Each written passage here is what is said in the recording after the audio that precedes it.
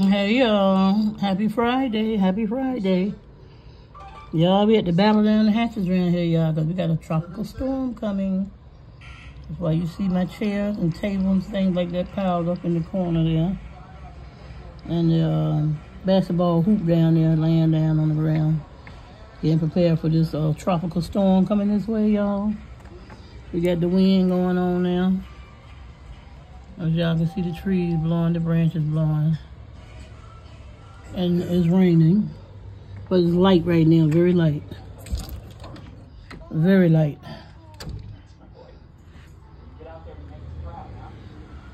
I know y'all can't see the rain because it's very light. Uh, yeah. That's a Food Lion store right there. Look how they packed over there. People shopping and getting what they got to get and all that. But we done did all that, so we should be good. Yeah, we should be good, y'all. But yeah, it's coming. I believe it's coming from North Carolina. Ain't coming from North Carolina, baby? It's coming through North Carolina. And it's going to hit, hit the East Coast, which we are in the East Coast. That's where it's going to be going down at, huh? But I done prayed about it, so I ain't worried about it. You know what I'm saying? I ain't worried about nothing. I done prayed about it. I'm a praying woman, honey. We are praying folks around here. Me step out here a minute.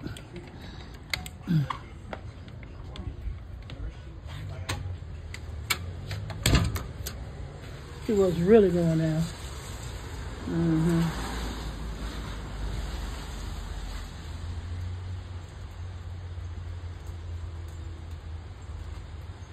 See, we got our chairs all buckled down and all. Mm-hmm. Basketball hoops laying down. Mm-hmm.